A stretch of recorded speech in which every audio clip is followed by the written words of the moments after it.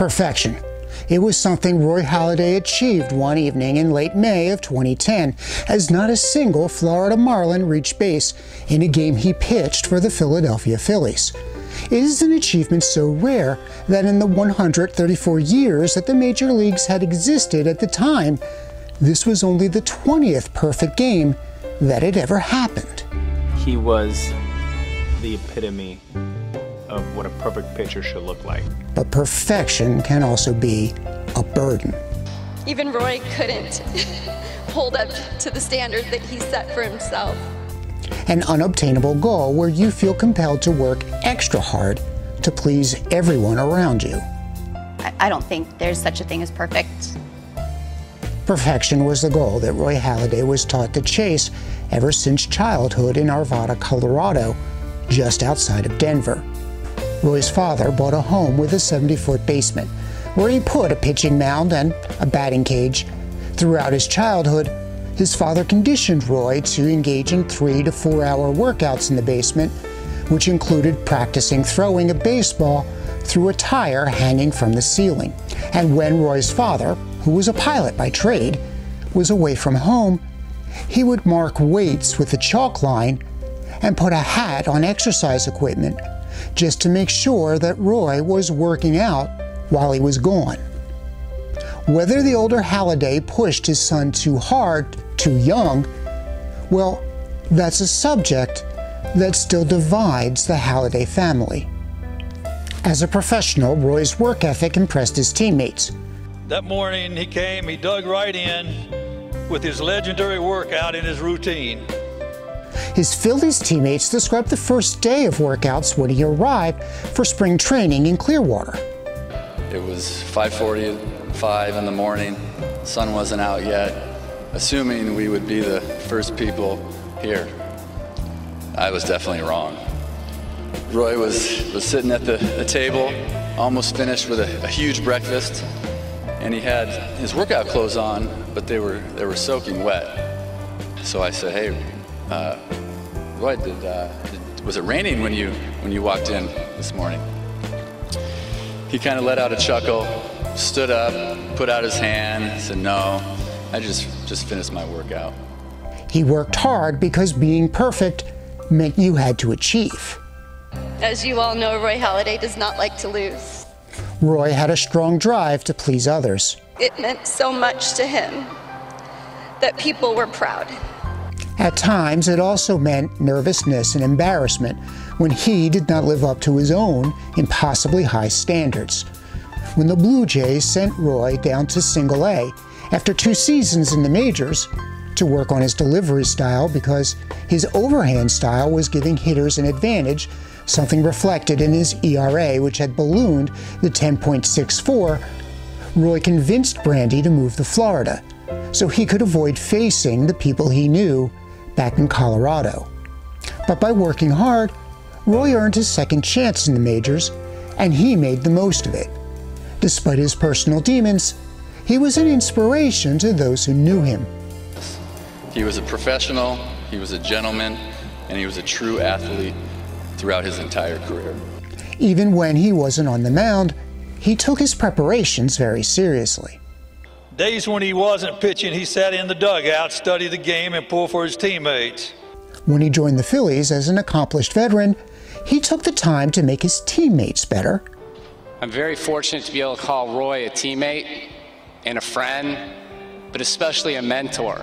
He was unselfish even about his own achievements. Many tell the story of how he graciously shared credit for his perfect game with all of his teammates. He saw his perfect game as our perfect game. To celebrate his uh, May the 29th game, he presented 60 personalized luxury watches to one each to each person in the clubhouse. The presentation box read, "We did it together." In the end, Roy Halladay may not have been a perfect person, but with hard work, humility, and dedication, imperfect people can still have perfect moments but Roy Halladay is a proud part of Philly's history. He was awe striking. He was beautiful inside and out. In this video, we are going to look at Roy Halladay's perfect game from the perspective of where it fits in the broad context of Philly's history, just how hard such perfection is to achieve, and why Roy Halladay still holds a special place in the hearts of Phillies fans. Welcome to Philadelphia Baseball History. Don't forget to check out our merchandise t shirts, phone cases, masks, notebooks, mugs, and much more. Just go to teepublic.com and look for Philadelphia baseball history. An athlete's finest moments come not just when he or she can dominate others in his or her sport, they come when an athlete is pushed to rise to the level of his or her competition. And that is probably the most significant meaning to come out of Roy Halladay's perfect game. On May 29, 2010, the Phillies were in the middle of a three game series with the Florida Marlins, a team that had always seemed to play the Phillies hard. As of the time of this recording, the Phillies' overall record against the Marlins is just above 500 at 543. Playing in South Florida, the Phillies have a losing record, a mere 472 winning percentage. In the first three years of the Phillies' five year run as National League East champions, the Phillies' record against the Marlins was 9 9, 8 10, and 9 9. So even though the Phillies began the day in first place and the Marlins in fifth, the Phillies could not expect this to be a cakewalk. In fact, Halladay's opponent that day was Josh Johnson. Johnson was the Marlins ace. He was coming off his first All Star season, 2009, and Johnson would pitch well enough in 2010 to make his second All Star team. Going into the game, the 26 year old's record was 5 1 with a 2.43 ERA. Halladay faced a formidable opponent, and it would show throughout the game in Florida's Sun Life Stadium. Roy Halladay was coming off of a tough loss to the Boston Red Sox. Through five and two thirds innings, Halladay had given up eight hits and six earned runs. Nonetheless, even after that May 23rd game, Roy Halladay's ERA was 2.22. His record was 6 and 3. The game started out somewhat uneventful for the Phillies. Wilson Valdez had reached second base on a double in the first inning.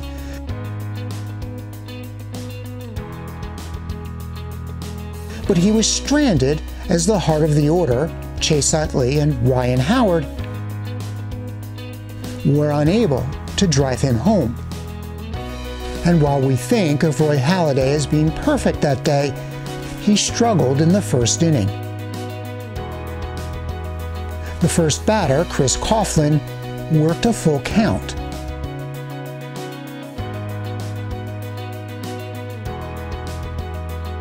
And when he was rung up on a called strike three, Coghlan appeared genuinely surprised. He had begun to walk towards first base, thinking Halladay had thrown ball four. On the outside corner, called strike three. Coghlan, I think, knew it. He was just hoping that the home plate umpire, Mike DeMuro, would give him a pass. It's interesting to compare how Phillies commentator Chris Wheeler saw the pitch. But Coghlan tosses the bat away because he thinks he has a walk. Carlos did a nice job at freezing that. As opposed to the Marlins commentator, former Philly himself, Tommy Hutton. Well, you know what? When you're Roy Halladay, you're going to get this call, and you have to be ready for it. It's pitch six, so clearly off the plate. It is somewhat fascinating that Roy Halladay's perfect game could have easily been derailed by the first batter he faced had the home plate umpire not seen that last pitch the way he did.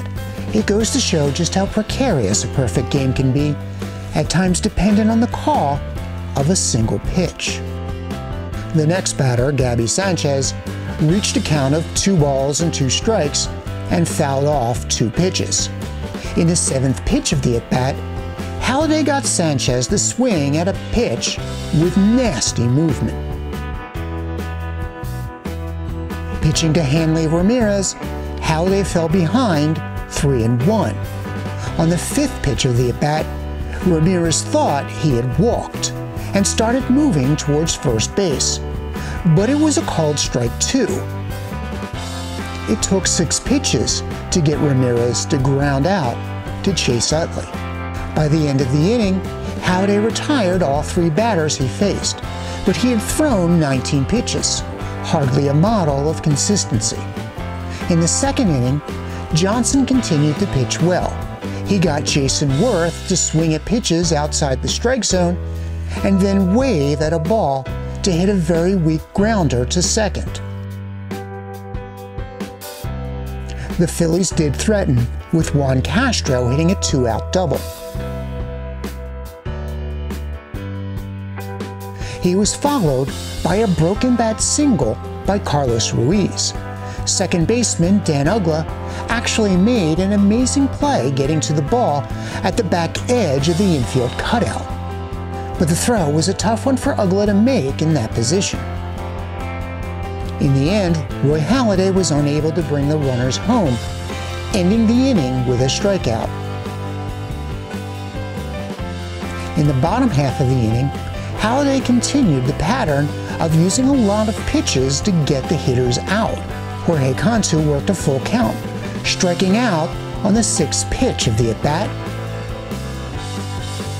Likewise, it took five pitches to strike out Dan Uggla, who swung at a nasty curveball. The Marlins broadcaster seemed to express glee that if the pattern continued, it could mean a short day for Halladay. So the, the pitch count is getting up there, and that's good news because if that pitch count gets a little too high, he may have to come out of the game. Cody Ross then swung at the first pitch to ground out. Halladay threw 12 pitches in the second inning for a total of 31 pitches so far. The Phillies finally got on the scoreboard in the top of the third inning. Johnson began the inning strong, with Shane Victorino flying out to short center field. But with one out, Wilson Valdez got his second hit of the day, a single. Chase Utley then hit a long fly ball to center field. It was just over Cameron Maybin's head and bounced off the top of his glove. As the ball bounced behind Maybin, Valdez scored. And Utley reached third. It was a three base error. In fact, it was the 40th error for the Marlins on the season. The Marlins led the league at that point. Ryan Howard was at the peak of his effectiveness as a power hitter. The Marlins chose to give him an intentional pass. Tommy Hutton explained what he thought the strategy was. They'll take a shot at a ground ball and try to get out of the inning. But Chris Wheeler had an alternative point of view.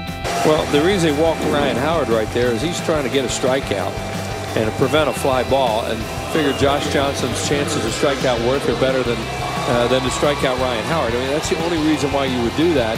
And the other reason is you're playing to the opposition's pitcher right now, Roy Halladay, so you, you're doing everything you can not to give up runs.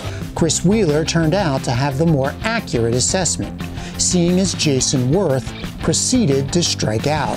Had Howard been able to hit a deep fly ball, Utley could have tagged up and scored. As it stood with Raul Ibanez striking out to end the inning, the Phillies had only scored one run and it was an unearned run at that. Roy Halladay became more efficient in the third inning. Brett Hayes popped up to chase Utley on the second pitch of his at bat, and Cameron Maybin flied out to Shane Victorino, also on the second pitch. Although Victorino and Jayson Werth barely missed a collision going after the ball. Another reminder of how precarious a perfect game can be. A matter of inches on that play preserved Halladay's gem. The inning ended when Halladay struck out his opposition, Josh Johnson. When he returned to the mound, Johnson settled down a bit, but Chooch got his second hit of the day, another single. Halladay attempted to move him up with a bunt, but struck out in the process. Victorino flied out to the third baseman, just in foul territory. The fans in Miami were being treated to an incredible pitcher's duel, with neither team's offense able to mount much of an attack. Halladay gained a better grip over his pitch count, although Hanley Ramirez had an issue with the pitch called strike three to end the fourth. It was the second time that Ramirez outwardly showed disagreement with the umpire's call. But as Halladay continued to mow down the Marlins in order, Johnson would answer by keeping the Phillies from scoring any more runs.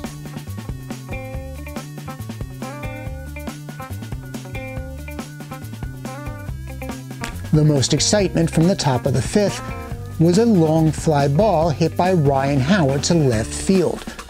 But Chris Coghlan caught it for the out. Halladay's pitch count had stabilized.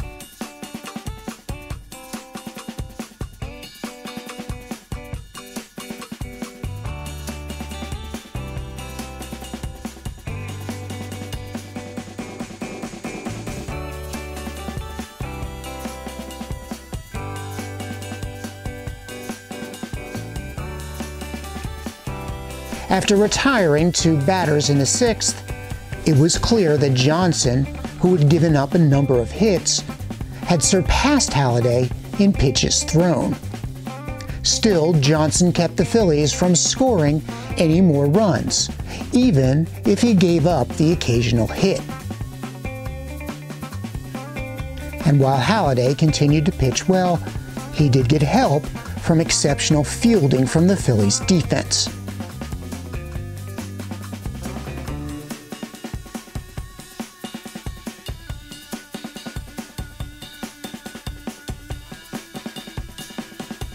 By the seventh inning, with the Marlins down by a run, even though Johnson continued to pitch well, the Marlins started warming up pitchers in the bullpen.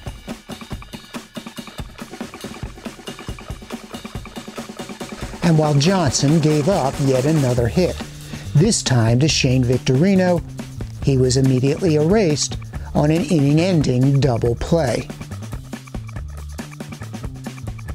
In the bottom of the seventh, Halladay continued to show his dominance, first by striking out Coghlan, and despite the fact that Josh Johnson had not given up an earned run, Clay Hensley was getting ready to replace him in the bullpen. After Gaby Sanchez flied out to left center, Ramirez again worked a full count. And once again, he showed his displeasure when he was rung up on strikes instead of being awarded a walk. By the end of seven innings, Josh Johnson had given up seven hits, but not a single earned run. The only blight on his day was the error in the third inning. It was just that despite the strong performance by Johnson, Halladay was, well, perfect. Through seven, Halladay had thrown 92 pitches and struck out seven. In the eighth inning, Clay Hensley replaced Johnson, and he picked up where Johnson had left off. Utley hit a ball to deep center, but it was caught near the warning track. Howard then struck out, and Jayson Werth flied out. But Roy Halladay continued to put on a clinic. He got Cantu to ground out, struck out Uggla, and then Wilson Valdez caught a Cody Ross fly ball to short left field. The fact is, with the Marlins matching Halladay in terms of keeping the Phillies from scoring, Halladay almost had to be perfect. The Phillies had scored only one run in the entire game, and that was due to a costly error. This meant that Roy Halladay himself had no margin for error. In a way, Halladay had to be perfect, and Halladay responded to that challenge. In the top of the ninth, Juan Carlos Oviedo came in in relief. He retired the Phillies in order.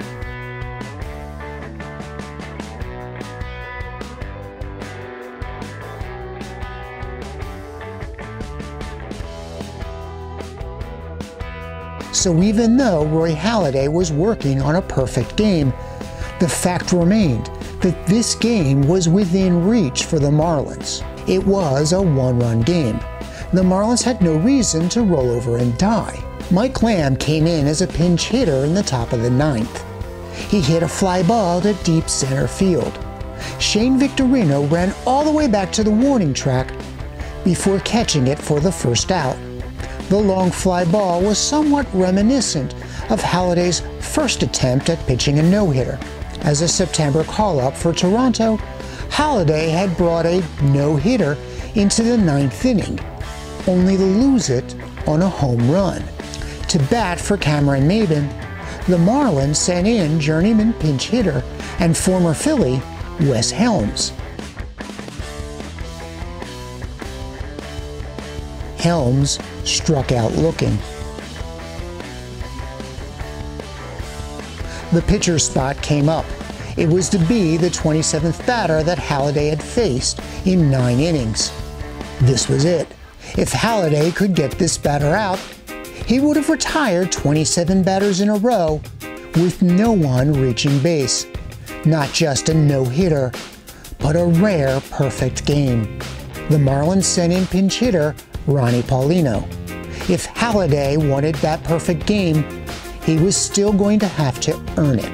On the fourth pitch of the at bat, the 115th pitch of the day for Halladay, Paulino hit a weak ground ball to Wilson Valdez. Valdez fielded it and threw it the first. And with that final out, Halladay had done it. He had thrown a perfect game. It was only the second perfect game in Phillies history.